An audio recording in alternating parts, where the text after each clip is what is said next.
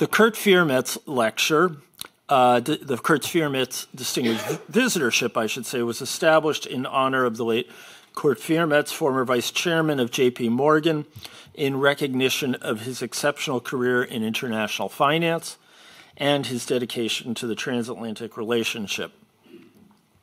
The program was inaugurated in uh, 2008 to bring outstanding uh, U.S. individuals from the fields of finance and economics uh, to the uh, American Academy for an in depth exchange with German colleagues, counterparts, and the interested public. And I should add that we have brought plenty of people who are also not economists, but among those uh, who have been here are uh, Secretary, former Secretary of the Treasury Larry Summers, uh, who held the Viermetz lecture, as did Fred Bergsten, uh, as has David Lipton. And among the non economists, we've had Todd Stern, the former special envoy for climate at the State Department, and Eric Schwartz, the former Assistant Secretary of State for Democracy, uh, and I'm sorry, for uh, Population, Refugees, and Migration.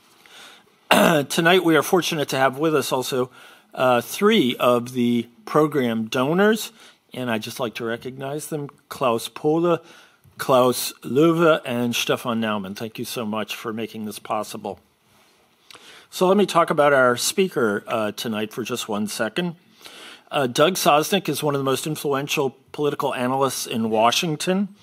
Uh, every one of his memos is a much anticipated event uh, that inevitably gets summarized in Politico and elsewhere and then reverberates throughout the political um, arena.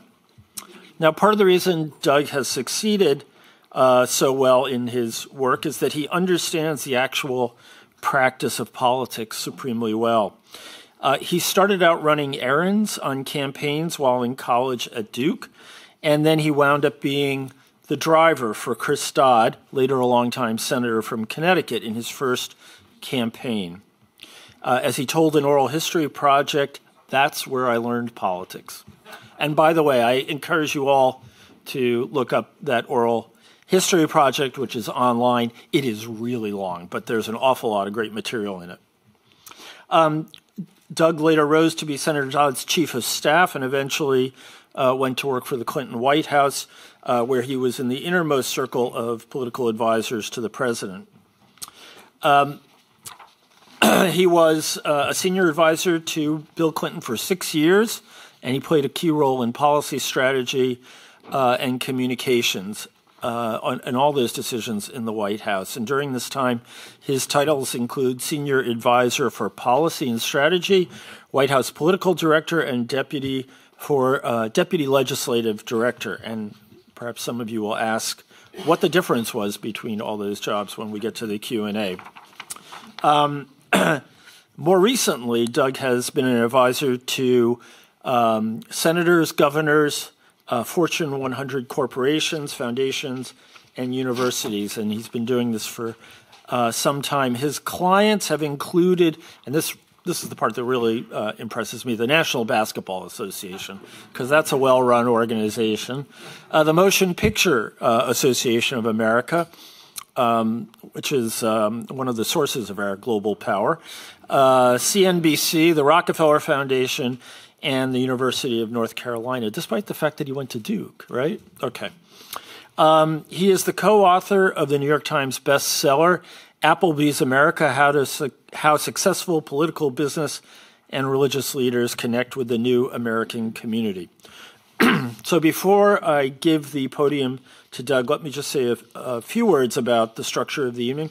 Uh, Doug will talk for 20 to 30 minutes, and uh, then that will be followed by a discussion and Q&A. And if you're here, you know how to raise your hands to ask questions, and I expect there will be many. If you're joining via Zoom, uh, don't raise your hand. Uh, type your question in the Q&A part of the Zoom platform. Uh, I'm, I apologize in advance if we don't get to all your questions. Doug, thank you so much for coming.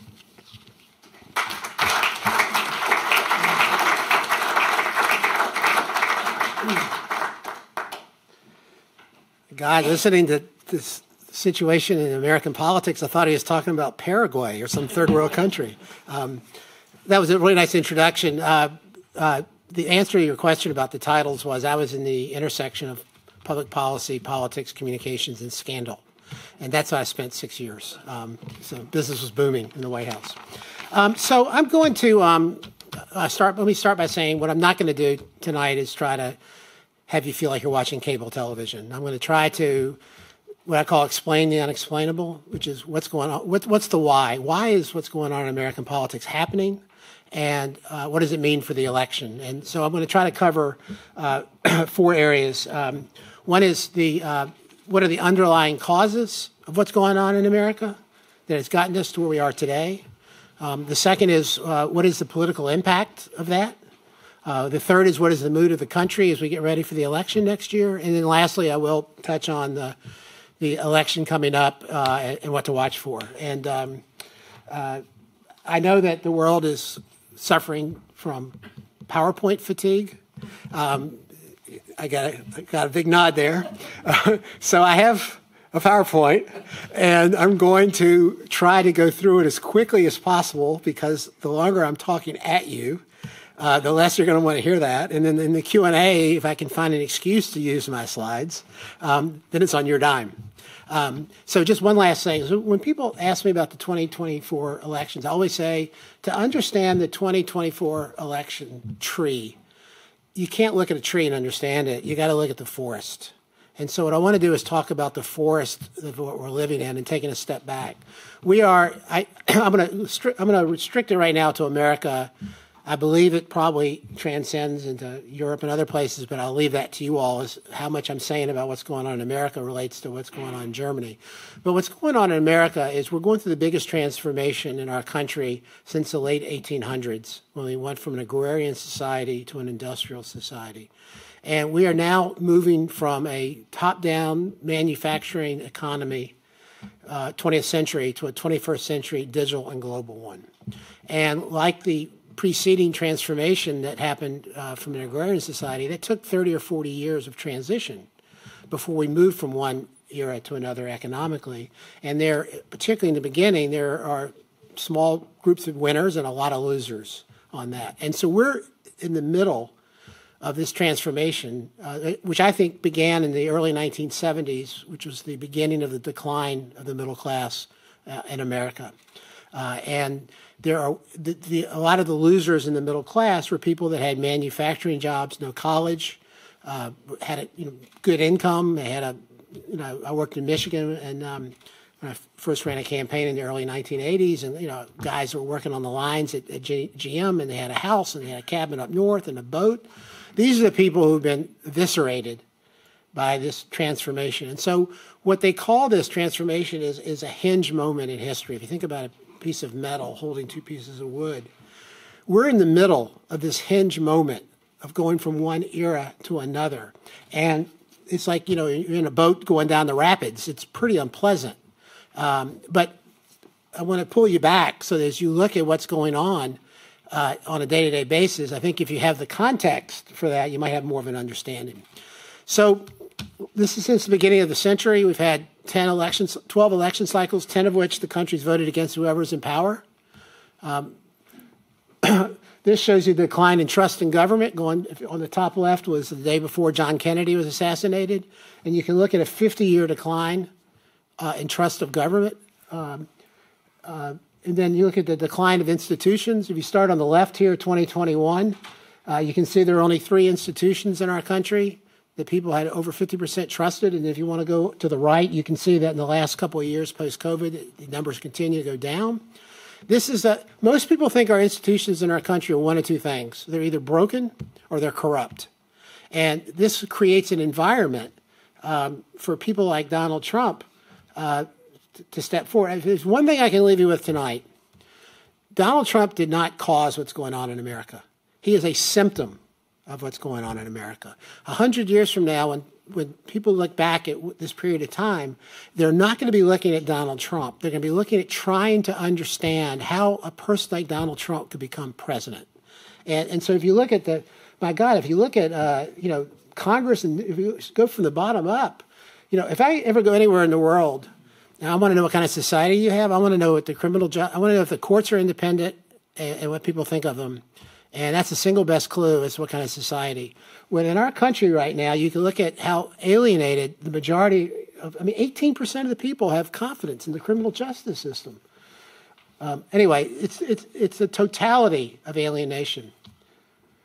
Um, so there's an old saying, well, what's good for General Motors is good for America.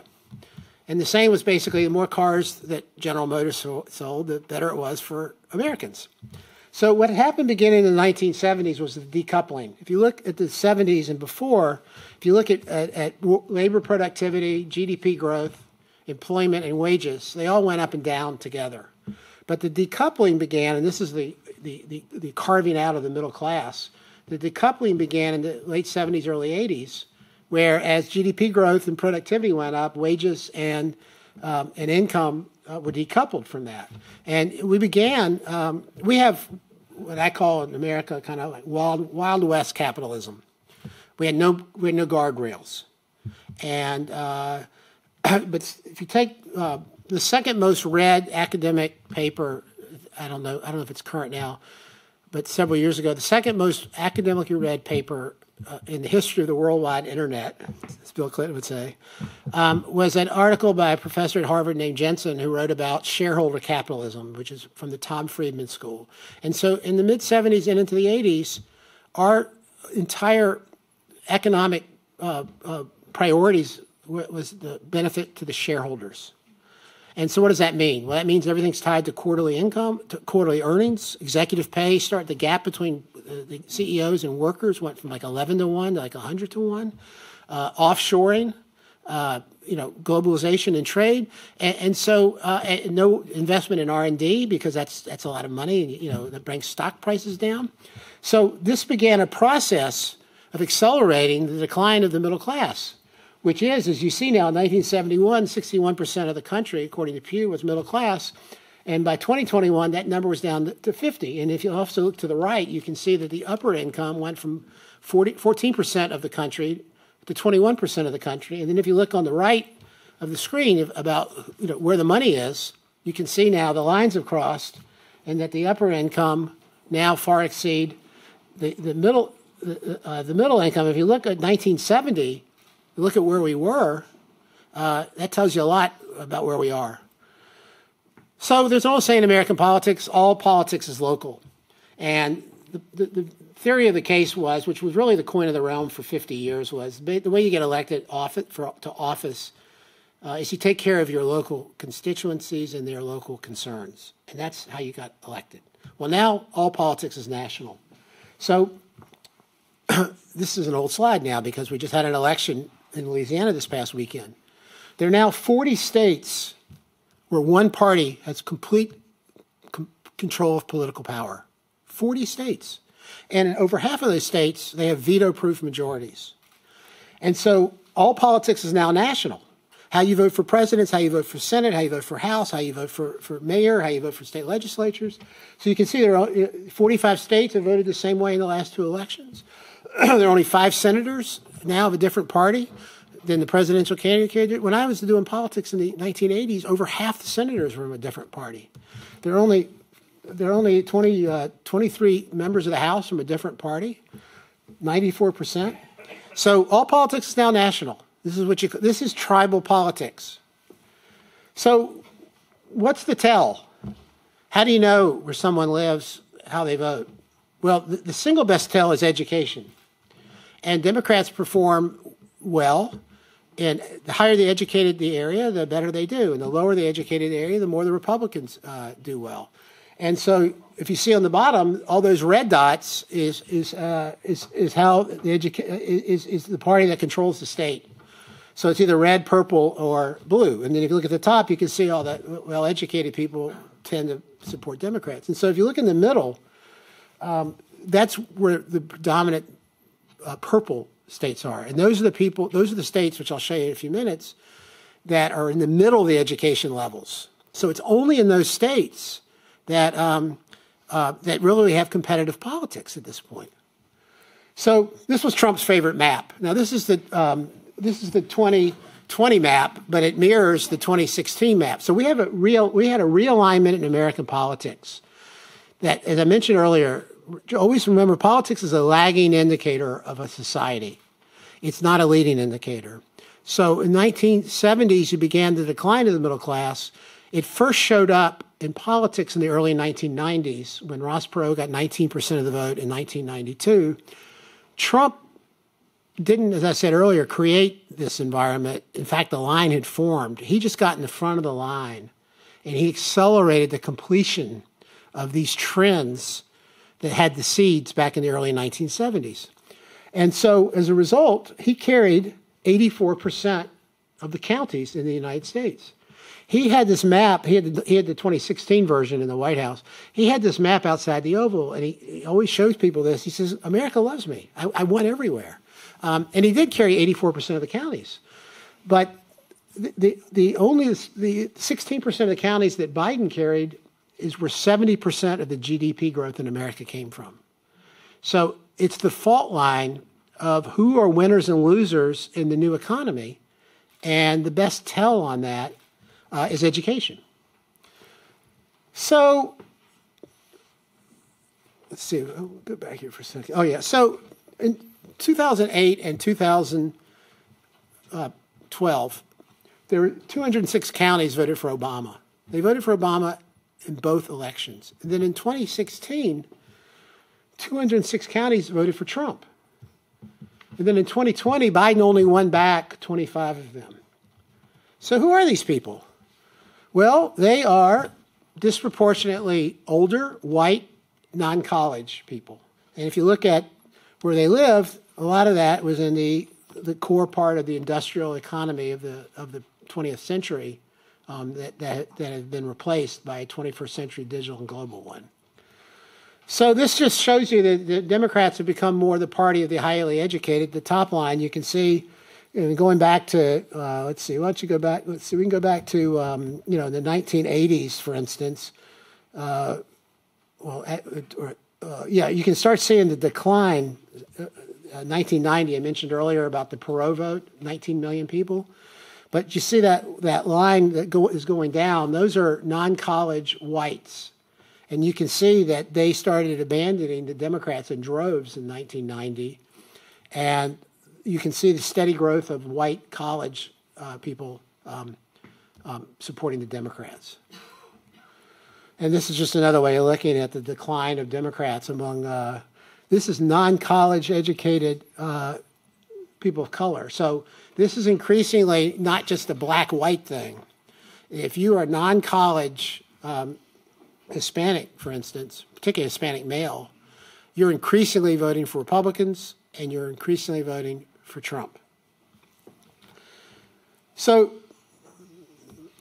first is education and second is density. You tell me how densely populated an area is, I'll tell you how they're going to vote. And the blue line on the right, the further you go to the right, the more densely populated the area is.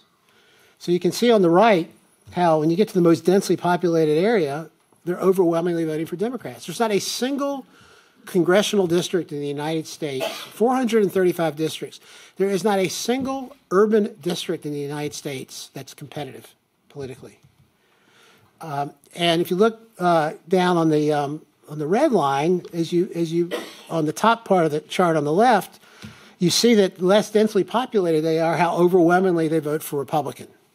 So and, and so in, in, American cities, there are only two people who, who live in American cities now the people who can afford to live there and the people who can't afford to leave. And that's all you got left. And so then as you start moving from the urban areas to the suburban ring, the closer you're in the suburban area, um, the, the more money it costs to live there because you don't want to spend all day driving and those are more densely populated. So those are more, and they're higher educated people. So as you move out from an urban area the further you move out and the less densely populated area, the more likely that area is to vote Republican. And so you can see on the left how the, these lines have changed in terms of density. So you basically tell me, you tell me the density of an area, you tell me the education of an area, and I'll tell you how they're going to vote. What I did not do, um, what, what I have done in the past is I've put the Brexit vote and the last presidential election in France up there and I said, I don't know anything about any of this stuff, but I can tell you who's, who lives where. Because how people voted on Brexit in terms of the cuts, is the same way they vote in the United States uh, uh, in our politics now, which is the same divide, the education divide. So the mood of the country, uh, you know, I'm not sure. Dan said the economy is booming. I think he said that. But anyway, the, most people in America don't think the economy is all that hot. So, so when I give um, these talks, I can't. I'm, I'm, comfortable showing you charts that are um, um, a few years old if it's after the realignment, but I can't go up here and show you a, a nine-month-old chart, a nine-month-old poll, because you look at me and say it's an old poll. But the dirty little secret is I don't I can show you a two-year-old poll and it's as current as the current poll. So for the last since two years ago, uh, uh, the country is over 70% has said we're headed in the wrong direction for two years. And then if you look at the driver here, um, you can see that you know, the, the, drop in consumer confidence, which is, so remember, uh, majority of Americans have never lived through an inflationary period. The last inflationary period we had was in the early 1980s. The majority of Americans either weren't alive or weren't old enough to remember what it was like. So this is a new thing for people. And inflation touches you and sears you in a, in a way that no, no other economic malice does. And so it's got a huge psychological impact and effect that you're reminded of 10 times a day when you go about your business. So uh, then gasoline prices, which is really the best predictor, you can see how how they went up, and now they've been tricking up, trickling up again, which is poison for Biden and the Democrats. So this is another issue that this issue of abortion is is going to be that it's an important issue today. It'll be a more important issue tomorrow. It'll be a more important issue five years from now.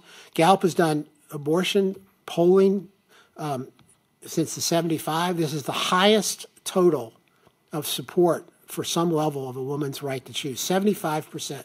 It's the highest level they've ever had in their polling. We had six states last year that had referendum. So remember, uh, take a risk here.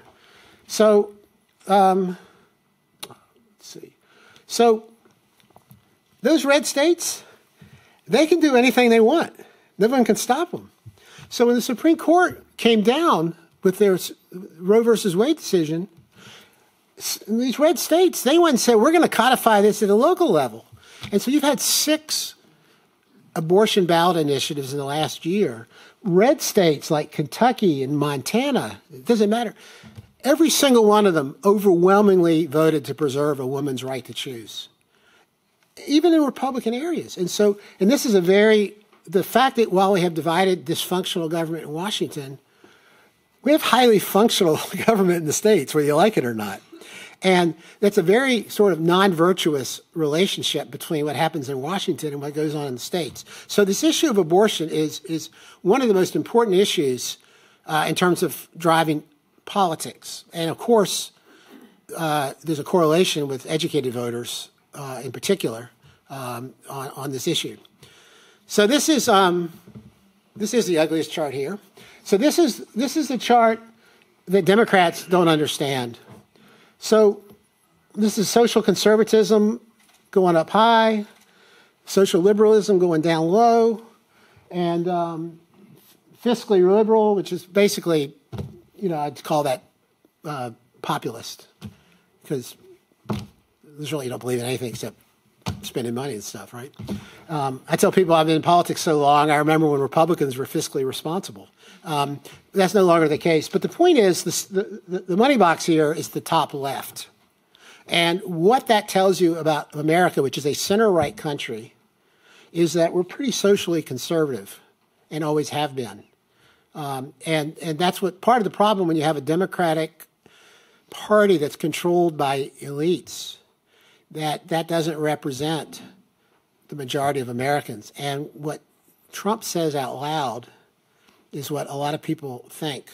And he's created a permission structure now to be able to say out loud and not look at your shoes about how offended you are by wokeism. And, you know, so as a Democrat, I've advised a lot of companies. And during a lot of the last couple of years, there has um, been a lot of pressure on companies to uh, to speak out on social issues, which I have advised against as a Democrat.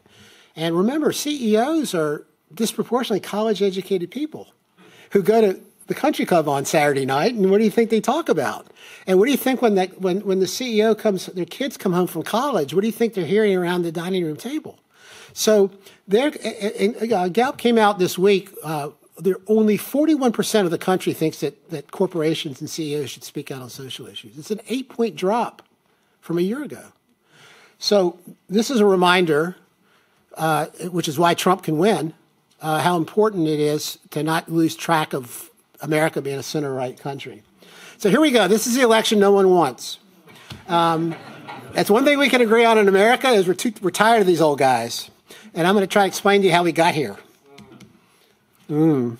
So, um, so uh, again, basically, so there's an architecture to this tribal politics. It's around 45% of the country is crazy left wing, 45% is crazy right wing, and 10% thinks the left wing and the right wing are crazy. And so, so Trump never got to 50% of the vote as president, job approval. He, he vacillated between 40% and like 48%. When he was at 48%, and this is a dirty little secret about Donald Trump, a lot of his policies, particularly say China, a lot of his policies are really quite popular. And there are a lot of, you know, Biden's different than Trump, and he certainly believes in diplomacy and he understands history and, you know, all kinds of stuff. But, but he's not different than Trump on a lot of issues. And the reason why is because those issues are popular. So when Trump is up at 48, he's talking about the issues. And when he's down at 40, it's when he's talking about his creepy stuff.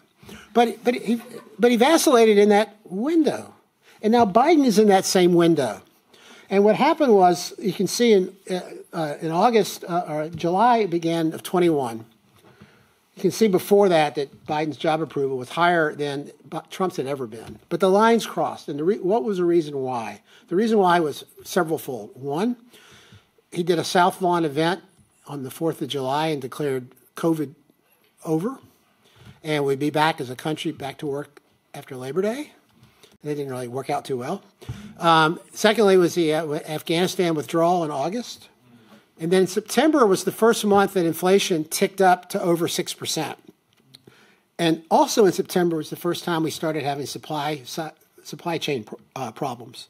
So by about now, the lines crossed, and essentially Biden is in the same zone as Trump. So this is the 10th quarter first term president's job approval. So I'll give you a pro tip. Anytime you're on a slide next to Donald Trump and Jimmy Carter, that's not a good sign.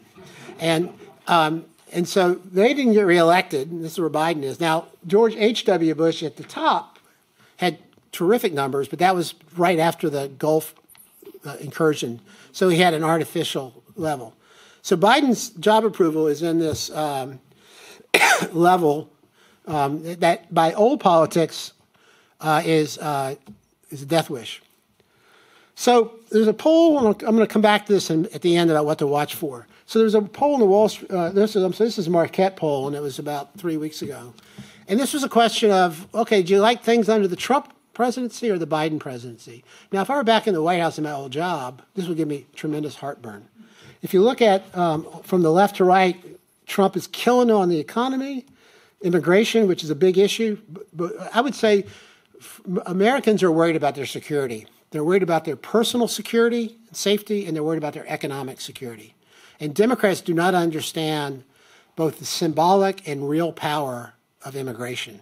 And when people in our country uh, are much more sympathetic and open to immigration when times are good, and when times are bad, they're very xenophobic.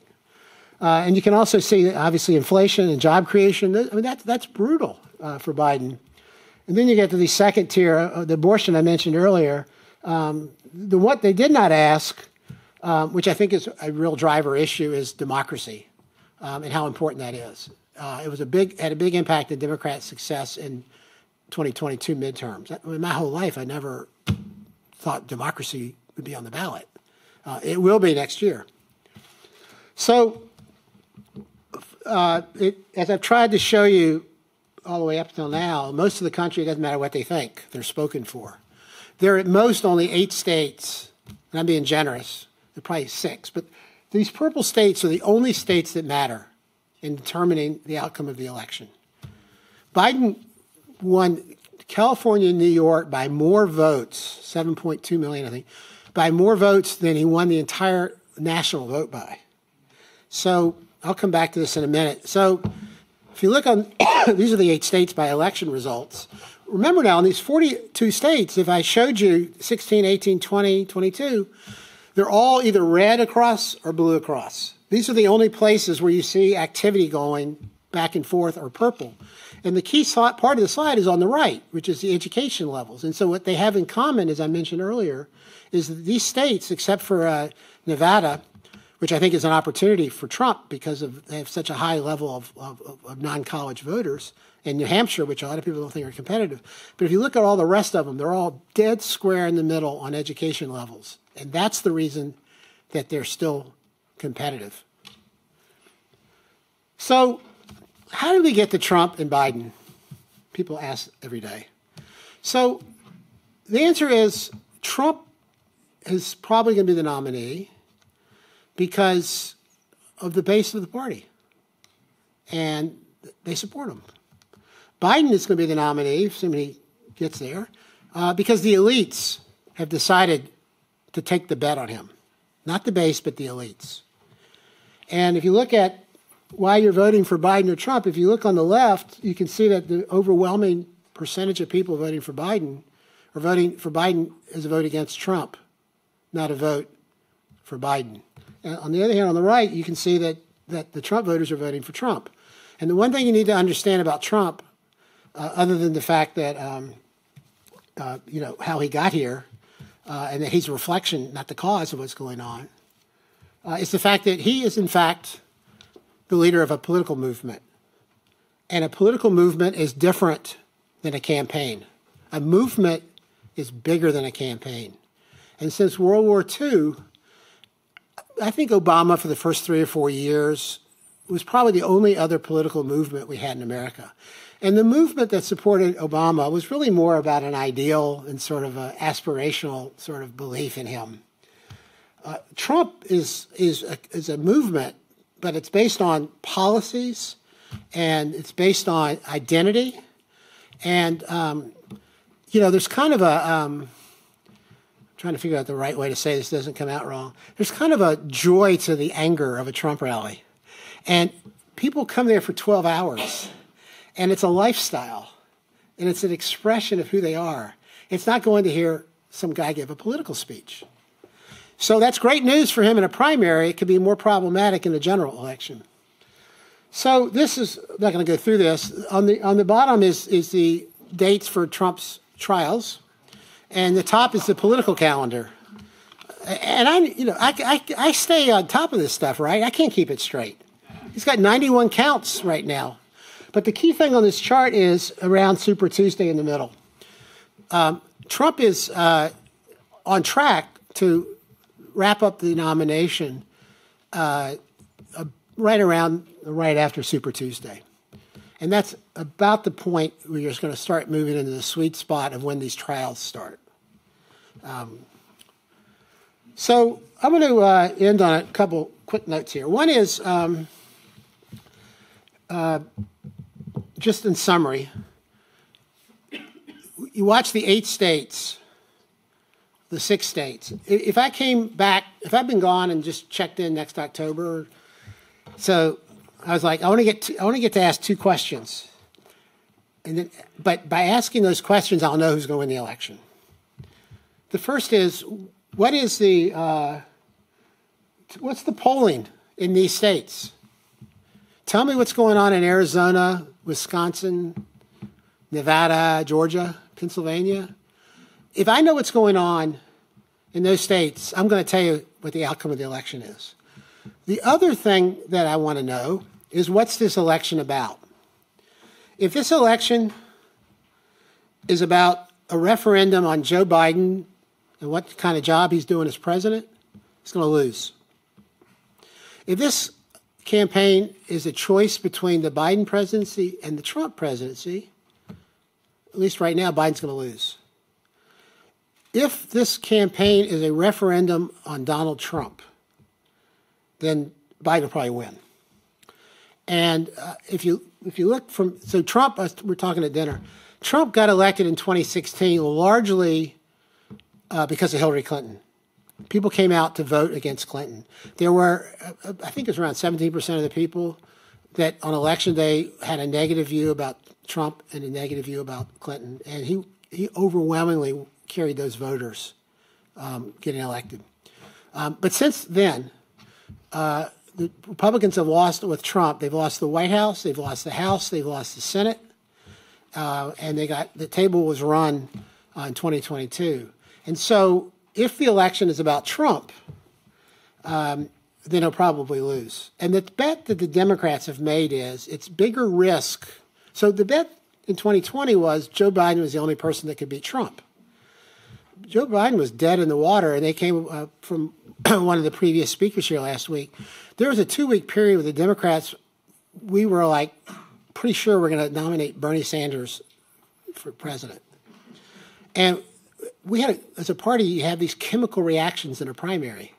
And so everyone coalesced around Biden uh, because they thought he's the only person that could beat Trump. And as it turned out, they were right. Because as bad as Trump did and did everything wrong, uh, he almost won.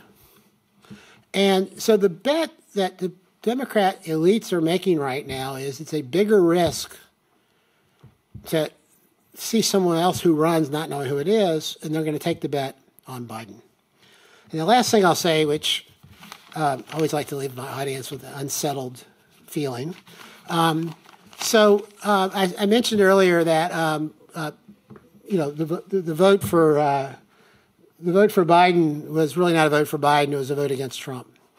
Biden was the first person to get elected president uh, since George H.W. Bush in 1988 without a political base. He got, in 88, he got elected essentially to a Reagan third term. Biden got elected in 2020 uh, without a political base, or I guess his political base was anti Trump voters.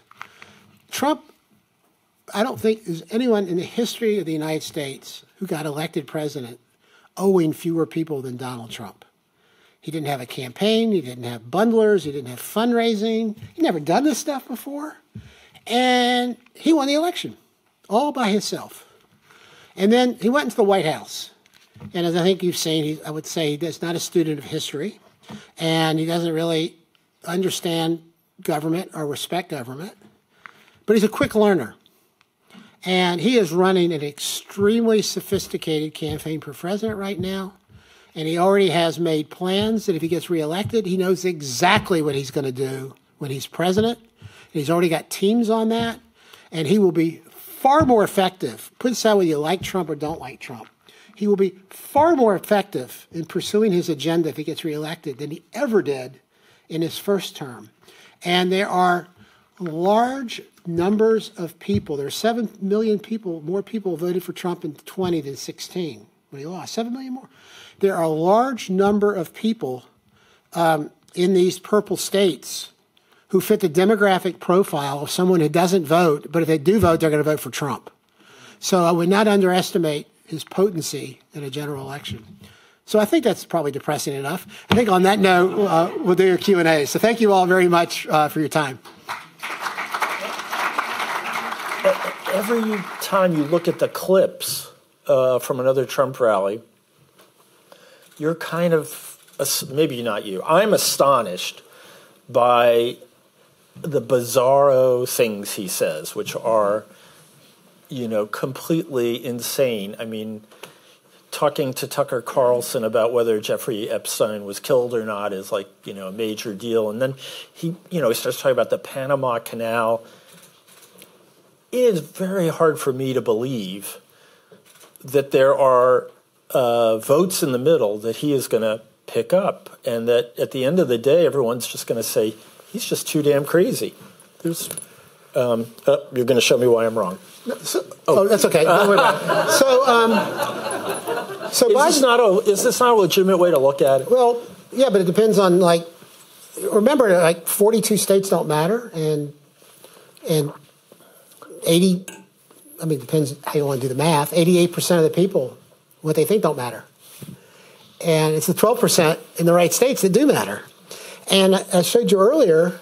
First of all, they've already priced in all this crazy stuff about Trump. They already know that, and they've already priced it in the product. And if you look at like, which I'm not going to show you now, uh, if you look at like, well, when Trump was president, how did you feel about the economy? All this stuff, pricing it in, it's like, you know, he made my life better. At least how they feel right now. And um, uh, so they're, they, they're, they're, the people in the middle are looking past all of that. And part of the problem Biden has is he said, let me president and I'll bring life back to normal. That's what he said, right? We'll bring the adults back in the room.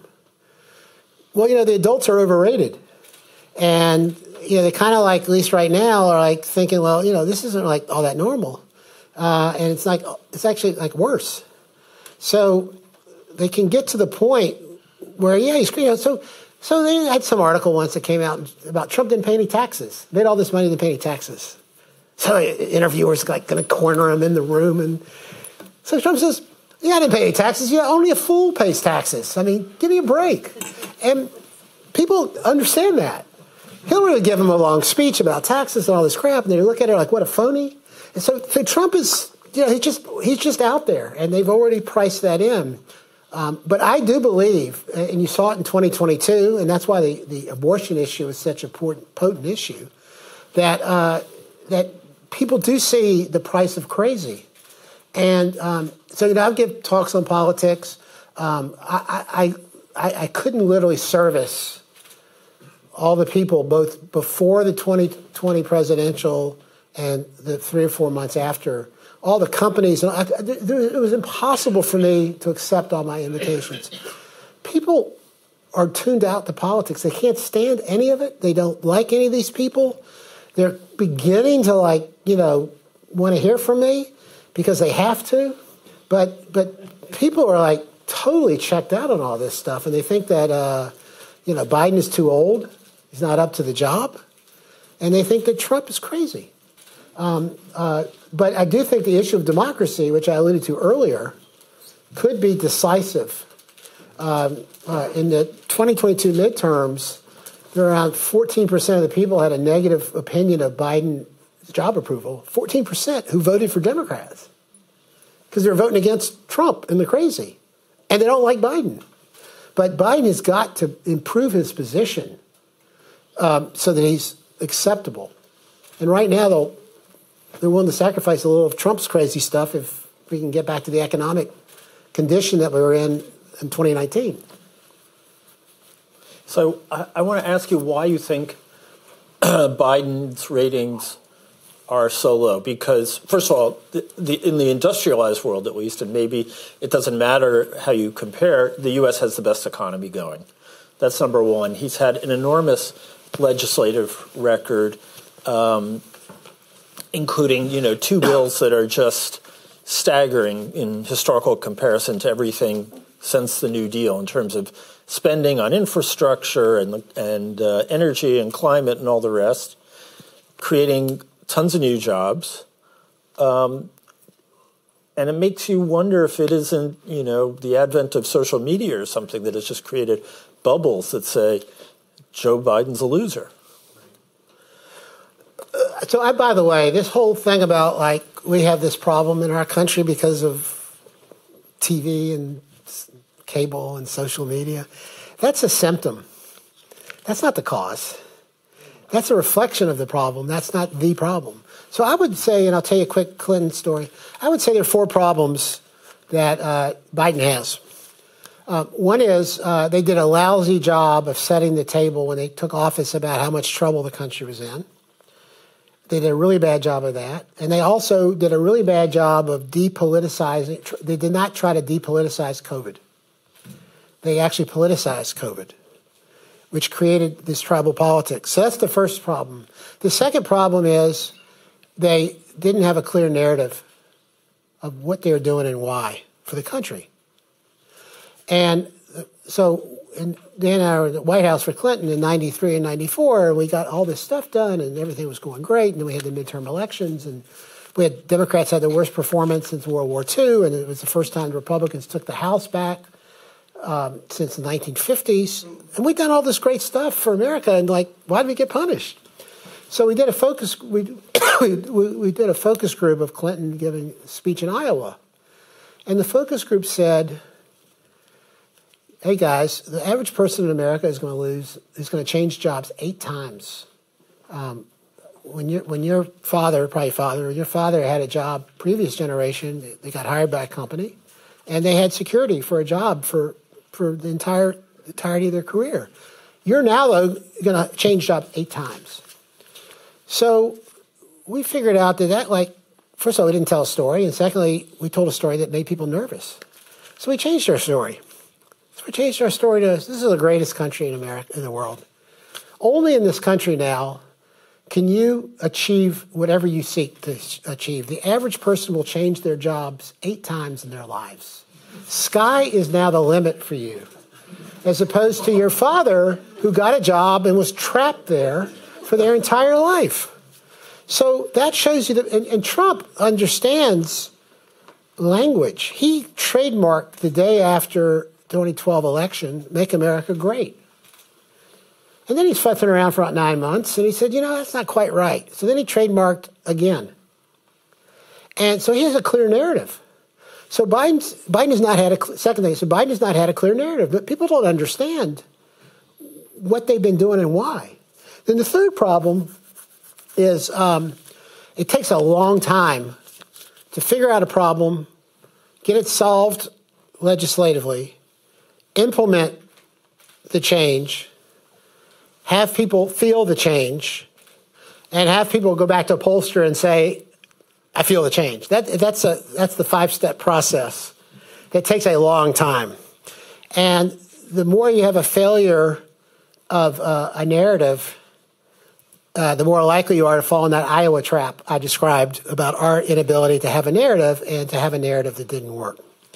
And the last thing I'll say is a reporter friend of mine was uh, in the uh, Reagan White House with Mike Deaver one night around 6:30, and that's where back in my when we were in the White House, the world stopped at 6:30 because it was the evening news, and everyone watched the evening news, and the newspapers were right off of that, and that was we'd go home at seven, and no one would page us or text us, and we just start the next day. So those were really important, right? The evening news. So mostly CBS and New York Times.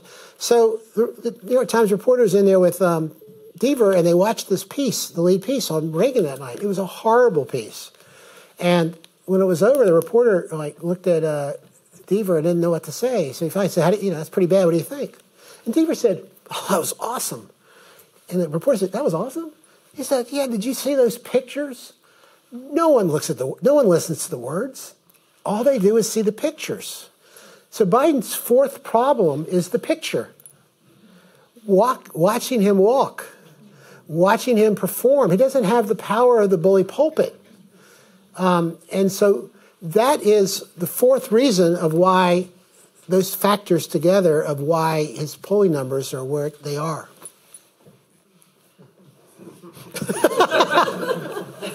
um, why are um, non white voters drifting away from the party of you know, the ethnics, mm-hmm. civil rights, uh, social benefits. Mm-hmm. So there's several reasons. Let's start with like the migration to America in the early 1900s by Italians and Irish and other groups. They came to America self-identifying with where they came from. The Irish vote, the Catholic vote. Well, as, as generations assimilate into America, they start identifying more with where their station is in life and not their ethnicity. And so for non non college, non whites, Hispanics in particular, they don't think of themselves as Hispanic. And you, you want to ask, you look at polling of like who is most concerned about crime and immigration.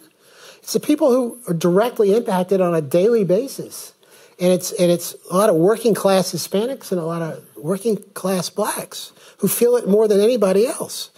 And so when you go to suburbs, suburbs are the only there are only like four groups. I didn't mention it. I just there are four groups you want to watch, three or four groups you want to watch to see how they vote in terms of figuring out the outcome of the election in those states.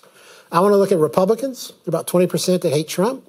Independent voters, about 40% of the people in 2022 who voted in Arizona, 40% of them said they're self identified independents.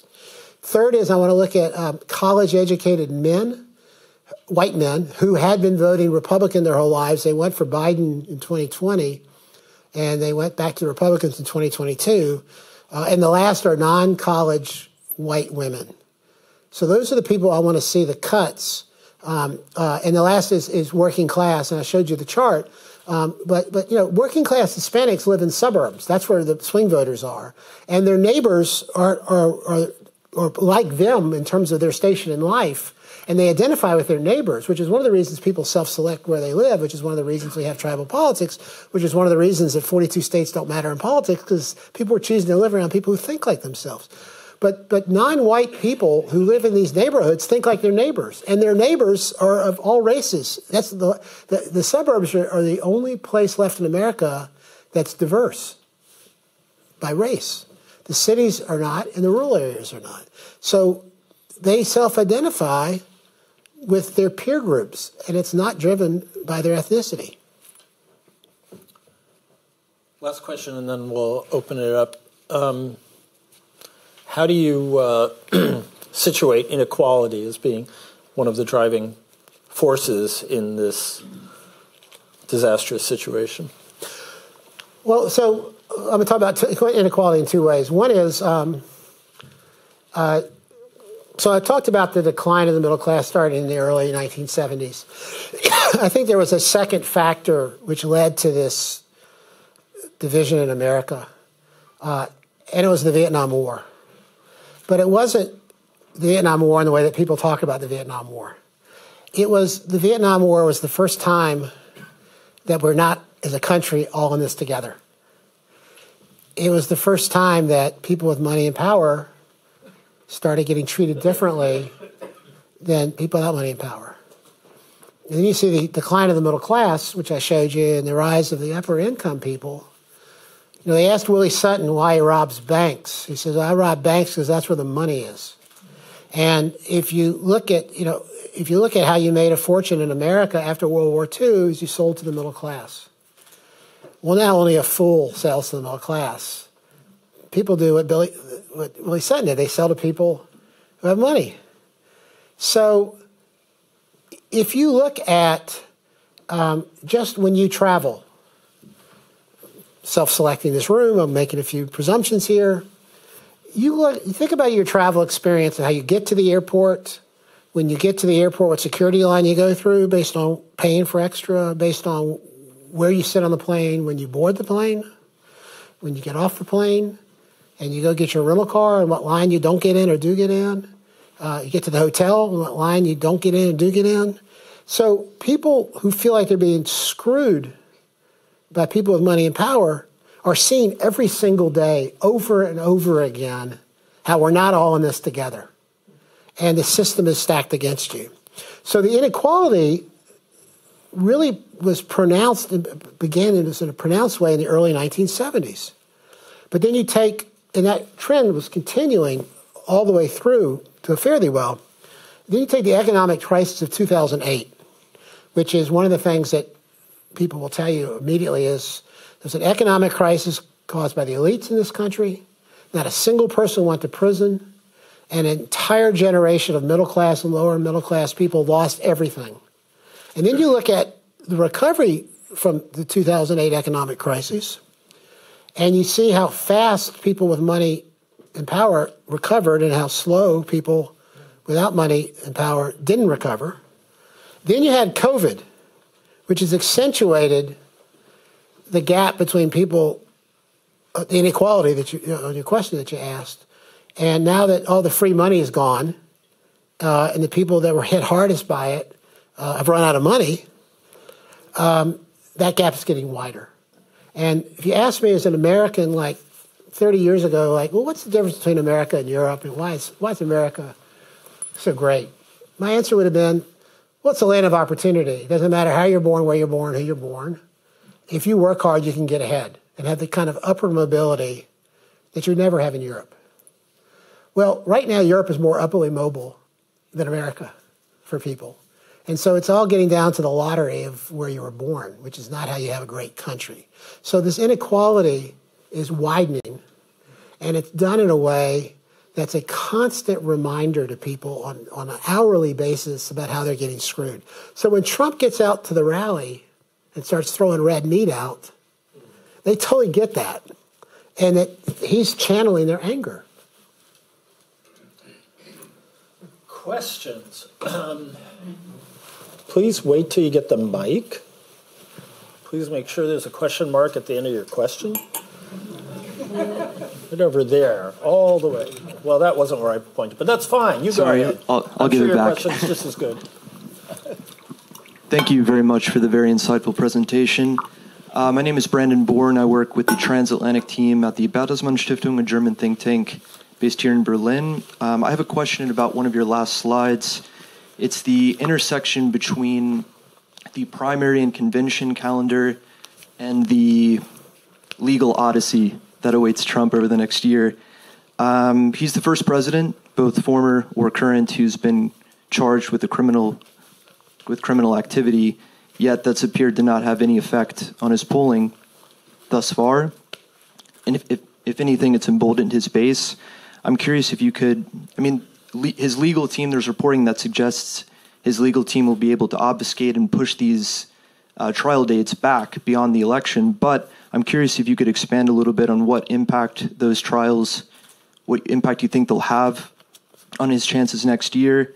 I won't ask you anything about the looming constitutional crisis that potentially awaits should he be elected and subsequently convicted, but if you have thoughts, I'd be curious. Thank you. Well, by the way, the way you started your question, Trump was the first president. You could be able to say that about a million things. I mean, he is the first president to do virtually everything. But if you go back to the slide about like why you're voting for Trump and the movement and the fact that he's there because of the grassroots, um, I believe that um, uh, that it is solidifying his hold on the primary because it's a movement. And I do believe, um, uh, and I'll tell you a quick story about 1980 for this. I do believe it's going to cost them in the general election with those target groups I said earlier. So in 1980, uh, Reagan got elected president. Everyone said Reagan is too old. Uh, Carter was ahead in June. He had 37% of the vote, but he was ahead in June, and he lost the election. And what what the key thing people didn't understand was 37% of the people in June said they were going to vote for Carter, and the 63%, whatever it is, divided their vote between Reagan and a third party with Anderson. But only 37, 30% said they're voting for Carter. That's the vote he got on election day. So as you got closer and closer to the election, the country kept lowering the bar for Reagan. You know, well, well if we have to if we have to dig a trench to put the bar there, all you got to do is walk across the, the, the, the trench. We're not even asking you to climb the bar. So the worse Carter was doing, the more that they were looking for any excuse to vote for Reagan because they didn't want to vote for Carter and they weren't going to waste their vote. So I think that's where we are with Biden, which is they just he's just got to be able to clear the bar that it's going to be okay because I don't think a majority of the people want to take the bet on Trump. In the, in the six states that matter, with the small handful of people that decide who wins and loses the election. Remember, in 2000, if, if less than 45,000 people in three states had voted differently, Trump would have gotten reelected. And in 16, if, if less than 78,000 people in three states had voted for Hillary instead of Trump, she'd have been president. So we're really in a th- the thin reed right now in an evenly divided country where it's not going to take much to determine who wins and loses. Is that you, Holly? Thank you. Uh, I'm Holly Case. I'm a fellow here. Um, my question is about uh, the way I understand your ultimate cause is, is this transition from an industrial economy to a global and a digital one. Um, how would that, in your mind, produce all politics is national, and what relation would it have to the fact that all politics is increasingly zero sum? Well, um, all politics is national right now because we're in this divided country, which is largely it's been a division that started, you know, last 50 years with the baby boomers who drove America off the highway. And we're still fighting the fights for the last 50 years. Um, uh, so when the baby boomers and Biden and Trump, you know, when they're finally, it's, you know, it's pathetic. You, you know, you see it with CEOs, you see it with athletes, you see it with politicians they just never know when to leave the stage. And they just they usually, you know, in politics we say they usually they end up leaving in a box. They either end up in a ballot box losing, or they end up in a coffin. Um, but they, that's how they end up leaving politics. So eventually, we're going to get this generation put aside. We're going to be facing the future, not the past. The millennials who grew up in the, and Gen Zs who grew up in this world of, of, of seeing how Basically, the system is rigged. They don't like either party. They don't care about these old fights. And they're reshuffling the deck uh, in terms of how you line up. If you look at how young Republicans, so Harvard did a study of millennials and Gen Zs and compared younger Democrats with older Democrats and younger Republicans with older Republicans. What they found was uh, uh, younger Democrats are more similar than dissimilar than older Democrats on issues they care about. What they found on younger Republicans is they have vastly different concerns than older Republicans. And so by the end of this decade, these young people will be the majority of voters. And in those young Republicans, they want more gun control. They want people focused on climate change. Um, and they're going to be much more aligned with younger Democrats as they take over. Uh, uh, uh younger people, Democrats have gotten 60% of the young vote in the last four elections. It's not because they like Democrats. They don't like Democrats. They're voting for young people uh, because they're not Republicans. But when we move to a new generation in this country and we're moving forward, not backward, I think you're going to start seeing no longer a zero sum, but a solving of our problems because they actually have more in common, these young people, than you think. All the way in the back in the corner. Thanks a lot for your crystal clear analysis. You said uh, abortion is a powerful, uh, salient issue. Uh, since Trump now delivered three judges on the bench on the highest court, mission accomplished. Could that be a hope for Democrats?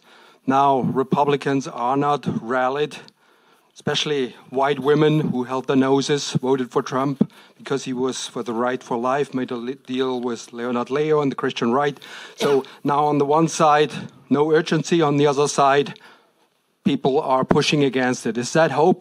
And what would religion play as a factor? That's a factor I was missing in your analysis. I always thought religion is the most salient, even more salient than let's say, uh, education or even income, uh, not religion per se, but how many times people go to church. That kind of tells you whether you vote Republican or Democrat. What would happen to that? So let's just stack up the body bags of institutions that have failed Americans. Why don't we start with the Catholic Church? Why don't we move to the Boy Scouts of America? Why don't we move to banks? Why don't we move to government? for half the country, why don't we move to the Supreme Court? So if you look at any measure at a relig- religiosity, I don't know if that's a word, we now as a country have never been less religious. Never as a country have fewer people gone to church. And the people who go to church least are young people because they view that as yet another failed institution. So religion was a very strong correlation of how people voted in the past, but it is not, it's increasingly not a correlation going forward because it's yet another failed institution in these young people's lives. What was the first part of your question? Abortion. Oh, so On, on Yeah. side, Right. no Yeah. to vote for somebody who's Right. alive. On the other side, there could be a backlash. So I, would, I tell Democrats I got good news and bad news for you. Um, the good news is Vote on this one. the good. I'm not sure you're young enough. So the good news is uh, this is going to change America politically. The bad news is most of you here aren't going to see it. So the um, the courts as an instrument, as I said earlier, the, the politics and, the le- and legislation is a lagging indicator of America. Once the line has, once the people have formed, the politicians will get in front of the line and lead. So if you look back to um, uh, civil rights movement in America and the changing of laws, we essentially made it against the law to legally discriminate against people. And then people just discriminated against them and tried to figure out how not, not to get caught legally. But that happened in 64. Well, where did that come from? That came from a 1954 Supreme Court ruling, Brown versus Board of Education.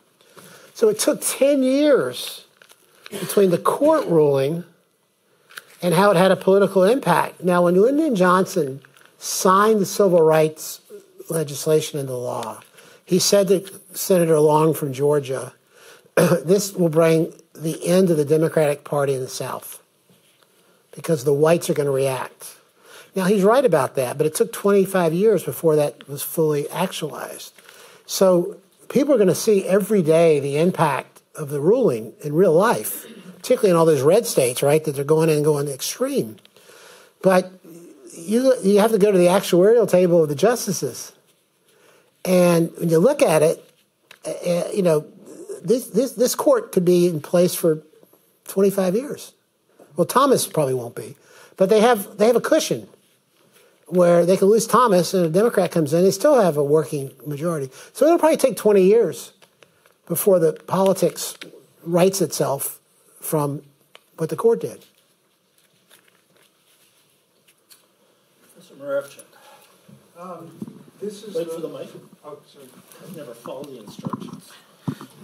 This is the what's the matter with Kansas question. Um, so, if it's true, as you say on your account, that the basic problem here is economic dislocation, globalization, and so on, uh, and people are hurting, then why don't they react as they did in the Great Depression when they became disillusioned with existing institutions and vote for the left that would help them as a result of this change? And the even if they're not doing it as well as you might hope that they would.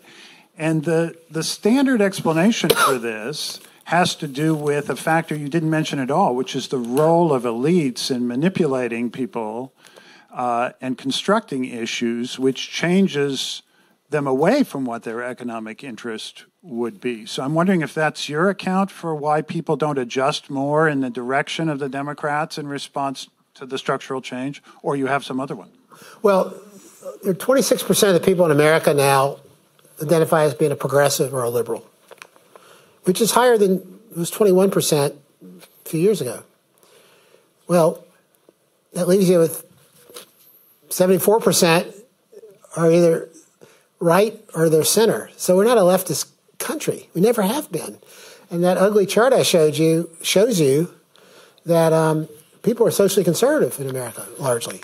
Um, on, on, you know, so if you, th- it's a terrible thing to say politically, but so it's like, first of all, you look at it, everybody hates elites. A bunch of findings. All these all these liberals go in and worry about climate change and give speeches about it, and they fly their planes to private planes to conferences and talk about how awful it is, um, climate change. Um, I think it's shameful, shameful what these Republican governors did of busing these these people who cross the border and bus them to Martha's Vineyard. But when you watch those people get out and you look at those people in Martha's Vineyard who are horrified in their backyard, we have a housing crisis in America. Why do we have a housing crisis?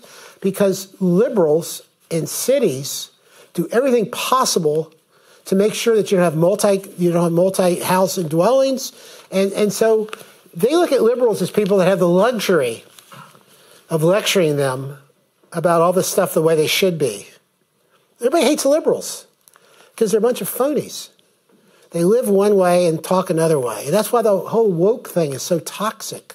And the politically correctness is, is, so, is, is a poison for Democrats. And lastly, you know, the, the person who did, the person who, another politically incorrect thing to say, the person who did more damage, uh, recent history, the person who did more damage on believing in government was Obama. Because he launched a website that failed and people said government can't run health care. The, the person who did the most for people to understand the value of government was Donald Trump. Because when he took away basic functions and people saw what the impact was, they all of a sudden said, well, government's not, not such a bad thing. Maybe we should staff those people over at, at, at, the agriculture department and maybe they should like try eating that meat before they put it on the market and that way people wouldn't have gotten poisoned um, um, but they don't look at government as a solution to fix their problem. And if you look at the Democrats and their problems right now, half of it's the woke stuff, and the other half is the fact that, I mean, basically, you cut through all of it. Basically, Americans hate both parties. They think Republicans are creepy, and they think Democrats are profligate on their spending and don't keep their lives safe. So they look at those choices, and that's why they vote against whoever's in power. Could, uh, if I can just try a refinement on uh, Andy's question. is it just possible that um, the uh, resentful right lower educate is, is, lower educated, but in fact is still economically well off enough so that they are not really interpreting their miscontent as being economic but actually cultural? Well, I mean, you could depends on your frame of reference. Words, they're not they're not unable to put food on their table as yeah. was the case in the Dust Bowl or the uh, no. the Great Depression. Well, and I think you want to compare the standard of living now compared to 50 years ago in America, or you want to compare the standard of living today compared to a person living in Africa. I think they should be feeling pretty damn good. Um, if you go back to, you know, maybe their grand, I mean, the, the second God given right as an American, the first was it didn't matter where you came from. If you worked hard, you could get ahead and be upwardly mobile. The second God given right as an American was every generation knew the next generation was going to have it better than the previous generation. That was just, everyone knew that. Well, no one believes that anymore. It's like two to one. People say it's going to be worse in the future than it is now. There's I mean, we got now have expensive money. We now have uh, no inventory. How, how's any young person going to buy a house? And then you take the, you know, we have, um, you know, three percent increase in cost of living and four point five percent increase in inflation. I mean, they're they're on people. These people you're asking, they're on a hamster wheel, and, and they're turning the speed up, and they're not getting ahead, and that's driving their psyche and and uh, uh, and they're not wrong. I think in terms of they're feeling like they've lost control of their lives, and that in fact there's a system out there that's screwing them. Christoph. Thank you. Christoph Marschall. I'm working for the Tagesspiegel and have been reporting from the States for many years. I would like to get back to your three option model in two of the three cases, Biden loses only if the Democrats, the White House, make it the election about Biden, uh, uh sorry, uh, of course, about Trump, then they have a chance. If you were the advisor, how do you do that? How, what, what, what is a practical way how you make it about Trump? Is it an active way in doing so? Is it enough to avoid that the two other options are on the forefront? And just one observation it seems that the indictments don't play any role. I mean, here we would have thought, oh, you know, once they get him and once he's in court, that would have an impact. It has no impact because the people who believe in Trump, they don't care, or they just uh, use media which not makes the indictment a subject, and on the other side it's the same. So how do you win over people? Who, who do you have to cater to? This is about Trump, not about Biden or a comparison of the two presidencies and who is more competent. So I have some experience with that, being in the Clinton White House, where in June of 95, 62% of the people said they would never consider voting for Clinton. That, that, was, that wasn't a great meeting that day. So, the, what I would do is the following I'm kind of covering some of the ground I said before. The first thing this White House has got to do is make Biden more right with the public. And, you know, that thing I told you about earlier about Reagan, they kept lowering the bar. So the first thing I got to do is clean Biden up so that people feel better about him. And how do you do that? Well, you do that by having a clear narrative and a clear story and saying it over and over and over and over again. And I think they have to do a better job of managing the optics of how he moves around. Every, every White House has a third rail that you can never touch. So in the Clinton second term, the third rail was um, uh, that impeachment might have impinged, impinged on Clinton's ability to govern. So at some point they say, well, you know, it's not really right, but we need a full time president. So even though we probably shouldn't get rid of him, we probably should get rid of him because we really can't afford to have a part time president.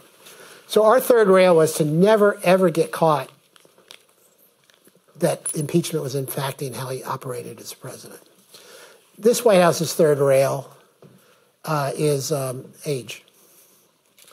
And I don't think they've done a very good job of building around. So you, you take Bush in 80, Bush in 04. So that was a perfect example of an old saying if you have a political problem, what do you do about it? You focus on it. So you had John Kerry, who said he was a war hero, Vietnam. And you had Bush, who he was one of these guys I was talking about earlier, right? He, he was fighting on the front lines of Vietnam at a, at a naval base in Alabama that his father got for him. So, what did Bush do about the issue of Vietnam? He said, Well, we're going to make that the issue of the campaign. Do you want to talk about Vietnam, Kerry? Let's talk about Vietnam. So they leaned in on it because it's the elephant in the room. And I think they should be leaning in on the age in the sense that you can't do anything about it. Don't pretend like it's not there, but try to frame it on your own terms. So the most important thing is is it, this is the, the shrinking of the president. When when Carter was president, the whole conversation in America was like, well, maybe the job is too big for one man. Maybe we need two people to do it because he's not up to it. Because he didn't understand he didn't understand, Reagan did, the, value, the, the, the power of the bully pulpit. The White House can be a really important job, or it can be not an important job. And Biden, as I mentioned earlier, got elected without a base and is, isn't capable and has never been really of effectively using the power of the bully. He used the power of the bully pulpit this past week on a speech about Israel, which got great reviews across the board. People hated him. That's an example that's an example of the power of the office if you use it right. So, to summarize, you gotta you gotta manage the optics, you gotta manage the narrative, you gotta tell a story, you gotta focus on those six states, and then because you get elected president, they're like want you to do a job as president. When you're talking about governing, they think you're talking about them. When you're talking about politics and getting reelected, they think you're talking about yourself. So the public's a lot more interested in them and what you're doing for them than they are in hearing about you trying to keep your job. So all the negative Trump stuff should be outside the White House, should be done by third parties, should be ripping the bark off the trees of him. It should be in those six states. It should be targeted on choice to non college white women, and it should be targeted towards college white voters in those states. They should be going after independent voters and people who live in the suburbs and raise the bar enough that people can say, I don't like Biden, but my God, I can't vote for Trump. Last question right here. Thank you. Uh, Michael Fichter. Uh, thanks for a very uh, comprehensive analysis of these domestic factors. Uh, but my question is uh, doesn't foreign policy play a role at, at all? I mean, right now, in this world of crisis that we're facing, uh, you know, it's uh, it, it, could be all of these issues. It could make or break Biden with uh, what's going on in the, in the world.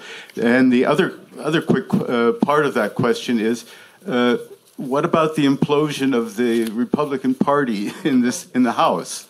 I mean, that whole chaos there, is that going to have any effect on this?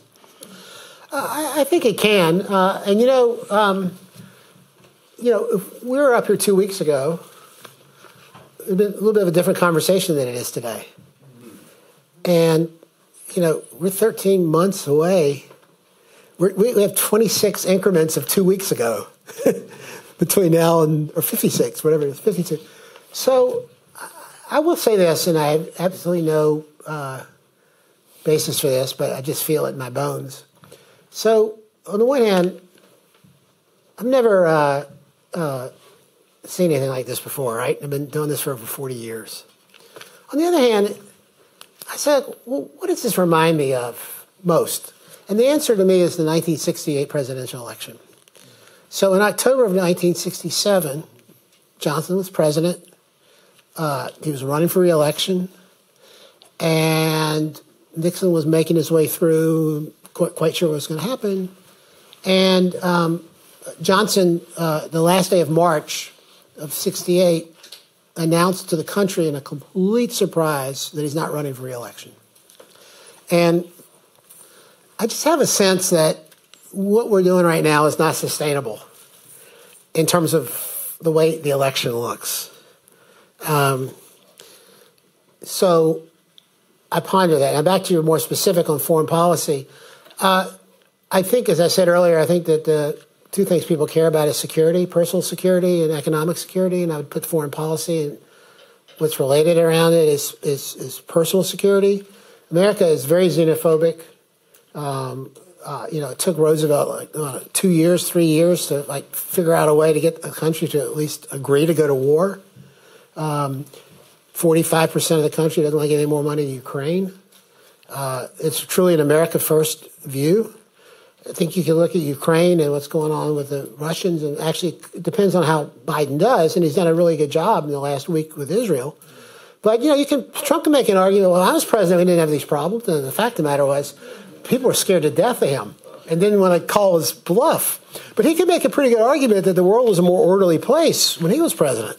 So it's really going to depend on how Biden handles all of this. But going back to what I said earlier, a vote for Biden in 2020 was a vote for bringing life back to normal, bringing the adults in the room, and creating a sense of people getting more control of their lives. So anything that happens that runs counter to that is running counter to the rationale of why people voted for Biden. So I think it's, I don't think it's clear, but I think it creates even more anxiety in the American public about the state of our country. And you look at the, you know, gas prices, my God, you, you look at, um, one last thing I'll say. So, like, the stock market is priced in in America that we have a dysfunctional government and life seems to go on just like we're in Italy you know, 44 governments in 43 years. Um, I think that uh, the market hasn't priced in the fact that when you have a government that doesn't work and you have a global tinderbox, it's probably the worst we've seen since World War II. I don't think that the business and stock market and people in Washington, in America, I don't think they've priced in the actual price of political instability and dysfunctional government. And I don't think when people voted for Brexit, they priced in everything. So I think that we're in a whole brave new world, uh, and I think it does matter. Um, but it rolls back to where people are, which is more xenophobic and more about their own lives back back in the states. Okay, Doug, thanks for a terrific and depressing tour d'horizon. um, and uh, yeah, maybe I won't uh, travel the world with you after all. But um, I'd like to invite you all to our, our, next event, which will be this Thursday, October 19th, when we will welcome uh, the CEO of the New America. Um, I guess we don't say New America Foundation, we just say New America. Okay. Uh, when we will welcome the CEO of New America in our fall 2023 Richard Holbrooke Fellow Anne Marie Slaughter, uh, who will discuss care and capitalism. And you should come back and, and listen to that because it might, you know. Anyway, uh, we look forward to uh, learning about her research uh, that reimagines a more holistic approach to human needs and desires and offers uh, potential transformation for a more balanced and rewarding future uh, that might not actually be possible in a second Trump administration. So, uh, for more information, check our website, and I hope you will come and thank you very much for being here tonight.